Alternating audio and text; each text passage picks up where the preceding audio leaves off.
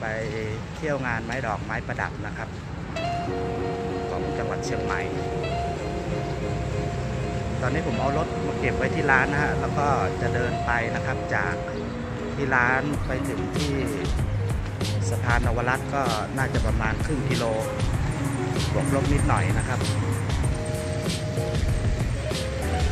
เขาจะเริ่มขบวนกันตั้งแต่ต้นถนนเออต้นเชิงสะพานนวรัตนะครับ นดการก็8โมงตอนนี้ก็ใกล้จะ8โมงแล้วตรงนี้เป็นเส้นถนนเจริญราษฎร์นะครับแถวนี้เขาจะเรียกว่าชุมชนวัดเกตนะครับเป็นย่านวัดเกตเป็นย่านสำคัญที่หนึ่งเลยนะครับ ของจังหวัดเชียงใหม่ฮะเรียบแม่น้ำปิง แล้วก็มีร้านเยอะแยะเลย นะครับ อันนี้ก็ร้านก๋วยเตี๋ยวสุโขทัยนะครับ ร้านเล็กๆ แต่ว่าเปิดมานานแล้วก็ดังด้วยครับ คนมากินกันเยอะ แต่ตอนนี้เช้ามากนะฮะ ร้านหลายๆ ร้านก็ยังไม่เปิดกัน มี Uni Space นะครับ ร้านข้างหลัง ร้านก๋วยเตี๋ยว ขายเสื้อผ้า handmade นะครับ ส่วนซ้ายมือนี่ก็จะเป็นวัดซิกนะครับ เชื่อไหมครับว่าถนนเส้นเนี่ยร้านอาหารเยอะแยะเลยครับ ร้านอาหารดัง ๆ แต่ว่าไม่มีเซเว่นนะฮะถนนเส้นนี้จะมีร้านขายของชำตอนนี้ยังไม่เปิดแบบเดิมๆเลยครับ ร้านขายของชำร้านของพี่สอนนะครับ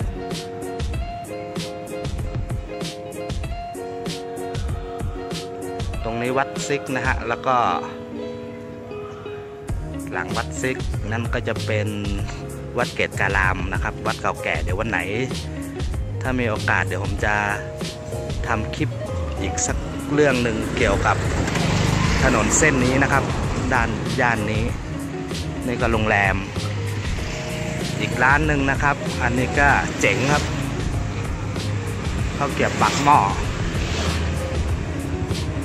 ขายข้าวเกรียบปักหม้อกับสาคูอย่างเดียวนะครับ เปิดแต่เช้าเลย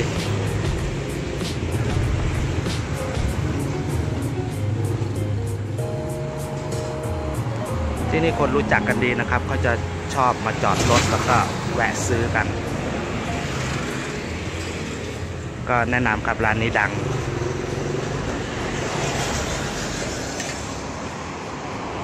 ครับไปกันต่อเลยครับ ด้านนี้ก็จะเป็นแกลเลอรี่นะครับ ตอนนี้ก็ยังไม่เปิด ร้านทำป้าย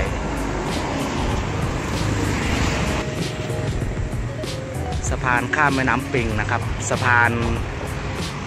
เดินเท้านะครับ เรียกว่าหัวแขก สะพานจันสมนะครับ ก็ ประวัติยาวนานเหมือนกัน ตอนนี้เขาทำใหม่นะฮะ สร้างใหม่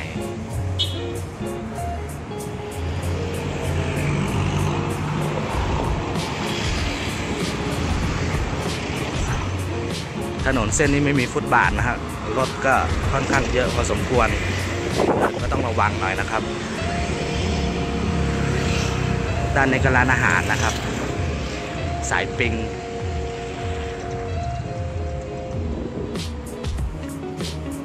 นี่ก็ร้านอาหารอีกครับ อันนี้ก็เปิดมานานแล้วครับ บ้านไร่สเต็กเฮาส์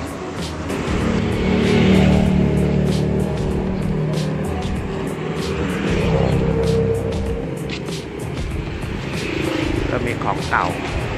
มีร้านอาหารด้วยอยู่ด้านหลังนะครับ ตอนนี้ก็ยังไม่เปิดนะฮะ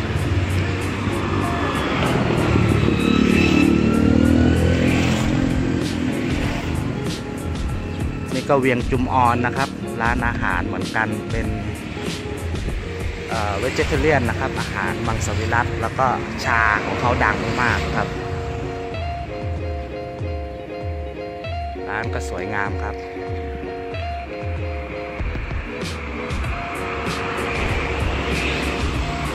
ซ้ายมือนี่ก็ร้านอาหารฮูนะครับ ร้านนี้ก็สวยงามข้างในตกแต่งสวยงามดอกไม้เยอะนะฮะ ชาวต่างชาติ ทั้งไทยทั้งต่างชาติก็นิยมนะครับ เป็นร้านที่ดีเลยทีเดียวร้านหนึ่งในเชียงใหม่นะครับ ขายทั้งอาหาร แล้วก็มีของฝากของที่ระลึกเยอะแยะมีแกลเลอรี่ด้านหน้าด้วย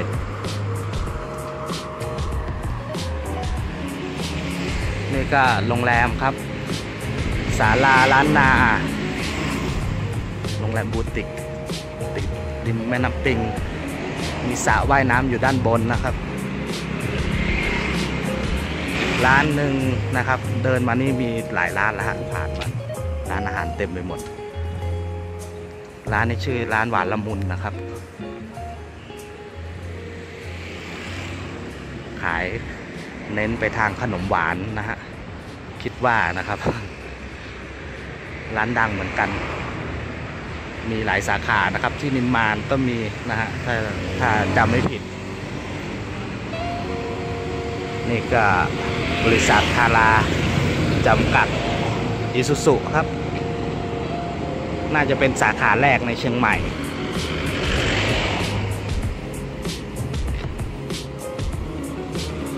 ที่นี่จะมีทั้งบ้านเก่านะครับที่เขา มีอยู่ดั้งเดิมแล้วก็มาทำเป็นร้านอาหารบ้าง มาทำเป็นแกลเลอรี่บ้างนะครับ แต่ก็ยังคงอนุรักษ์ความสวยงามไว้อยู่มีประวัตินะฮะยาวนานเลย นี่ก็สำคัญครับร้านอาหารเดอะแกลเลอรี่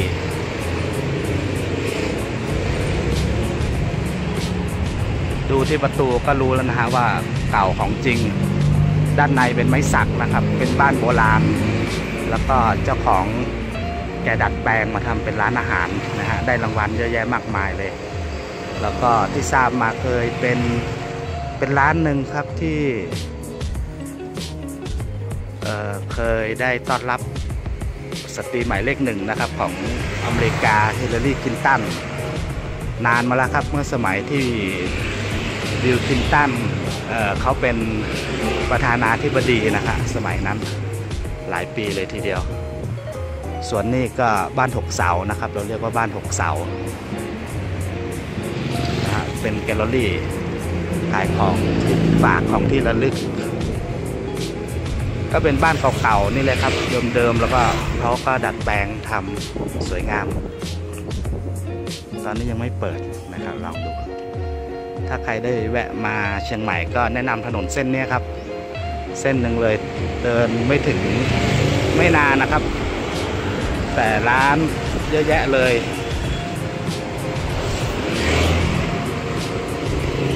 เราใกล้จะถึงเชิงสะพานนวรัตน์แล้วนะครับ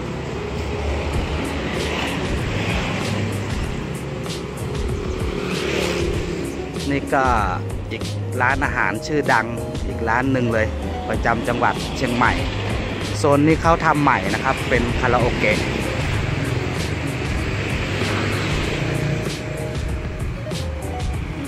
ส่วนดั้งเดิมก็อยู่ติดกัน ซ้ายมือนี่ก็เป็นที่จอดรถดูครับกว้างไม่กว้าง เห็นเต็มทุกวัน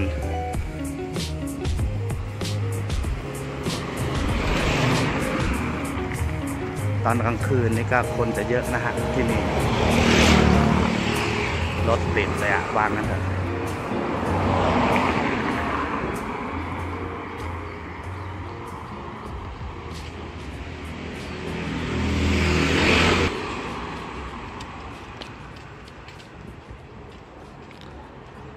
อันนี้ก็อีกร้านหนึ่งครับ ชื่อดังเหมือนกัน The Riverside ก็มีทั้งสองฝั่งครับซ้ายขวา ดนตรีสนุกครับที่นี่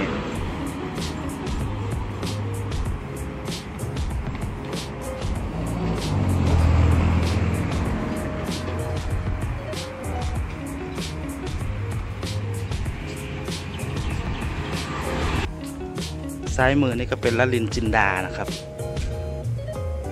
เป็นที่พักนะครับ เป็นโรงแรมด้วย แล้วก็เป็นสปาด้วย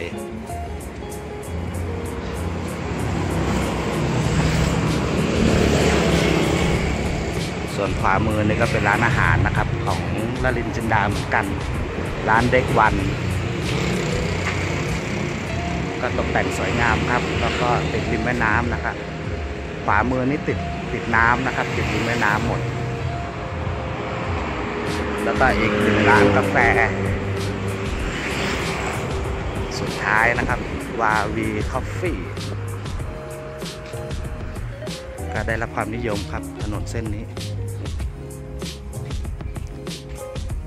ร้านสุดท้ายนะครับที่เหลือก็ ไม่มีแล้วร้านอาหารนะฮะ ซ้ายมือนี่ก็จะเป็นคริสตจักรที่หนึ่งนะครับ